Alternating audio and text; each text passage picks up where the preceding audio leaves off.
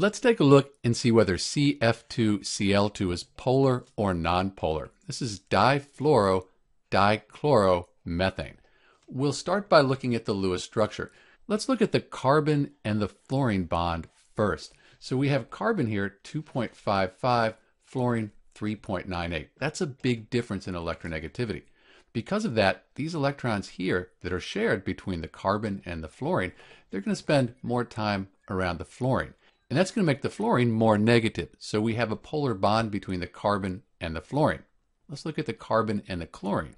So when we're looking at this bond here, this pair of electrons, again, carbon 2.55, chlorine is 3.16. That's still a big enough difference for this to be a polar bond.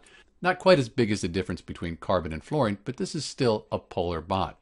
So overall, is this a polar molecule? And if so, which side of the molecule is going to be negative and which side is going to be positive?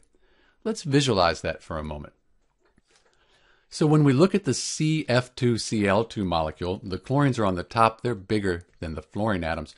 We note that no matter how we arrange this, we're going to have the chlorines on one side and the fluorines on the other side with this tetrahedral molecular geometry here.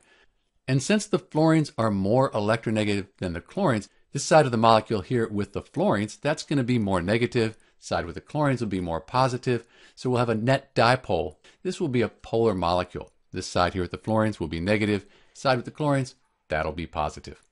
Let's go back to our Lewis structure.